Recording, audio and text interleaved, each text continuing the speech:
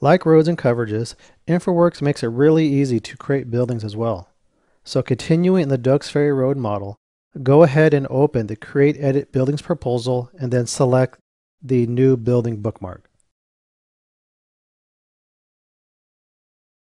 Go ahead and rotate the view around so we get a better view of the area from a bird's eye perspective. We will go over how to create and edit a building within the model and also going to show you how to use coverages to reshape the terrain so we can place the building on a flat area for more realistic placement. Before we level the terrain to place the building, let's see what happens when we just place a building on the bare terrain. Now let's go to the InfraWorks core icon. Select the draw icon. From the draw toolbar, go ahead and select the buildings icon. From the buildings asset card, go ahead and select the Palace facade style. Close the asset card so you have a better visual of the area. And now let's place a building right over here.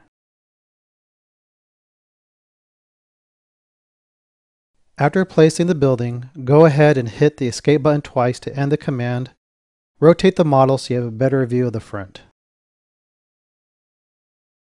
The building detail is a little hard to see due to the sun position, so let's adjust the position of the sun. Now we are going to go over how to adjust the sun and sky settings later in this course, but I'm going to show you really quick how to adjust the lighting to improve the line of sight of objects within your InfraWorks model. Now go to the presentation icon next to the InfraWorks toolbar. Again, looks like a computer monitor. And then select the sun and sky icon. From the sun and sky asset card, go ahead and slide the time to approximate 3 p.m and slide the date to about October 28, 2016.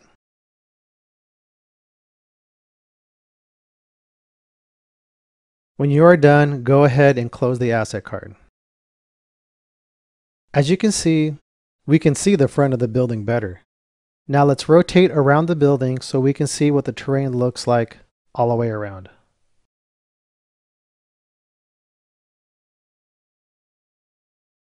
The building placement doesn't look realistic due to the slope of the terrain on the sides and back of the building.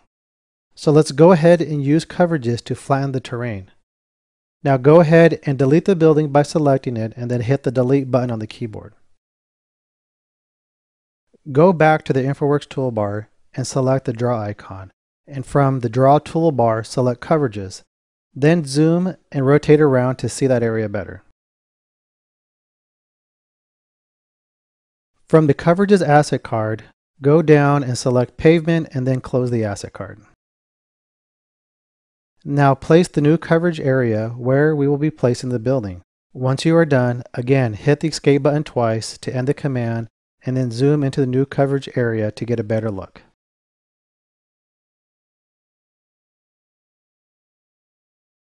Let's go ahead and rotate back to get a good view of the new coverage. If you recall from the creating and editing coverage video, that when you initially place a coverage that it drapes on the terrain, and if you want to create a flat area, you'll need to adjust the coverage gizmos to adjust the elevation to reshape the original terrain. Let's select the coverage to get it in edit mode. Move your mouse around the gizmo here in the front. Take a look at the status bar in the lower left hand corner and notice how the elevation is around 413 feet. So let's modify the coverage so all gizmos are at 413 feet to level out the terrain for us to place the building. Go ahead and select the top of the gizmo here in the corner. Once you select the little cone shape on top of the gizmo, the Z value window pops up which shows a Z elevation. Now go ahead and highlight the value, delete, and enter 413 and then hit enter. After InfraWorks regenerates the model, that point is now at 413 feet elevation. Let's double check our work by selecting the little cone on top of the gizmo and see what number shows up. And there you go, 413 feet. So good job.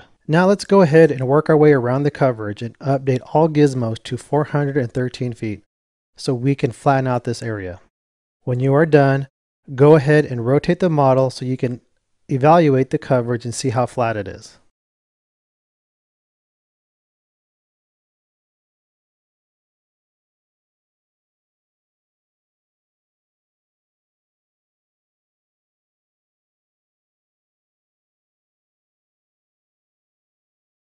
Again, using coverages is a good way to reshape the terrain. As situations arise when modeling your existing or proposed conditions, think outside of the box because you might be able to utilize coverages to create the effect you are wanting to show. Now that we have a flat terrain, we can place our building without any terrain issues. So let's draw the new building. From the InfraWorks toolbar, select the Draw icon, and from the Draw toolbar, go down to Buildings icon. From the Buildings asset card, pick the Apollos facade style. Again, close the asset card so it's not in the way, and rotate the model to get a good view of the new area. Create a new building following the shape of the pavement coverage you just placed, and when you are done, hit the Escape button twice to end the command.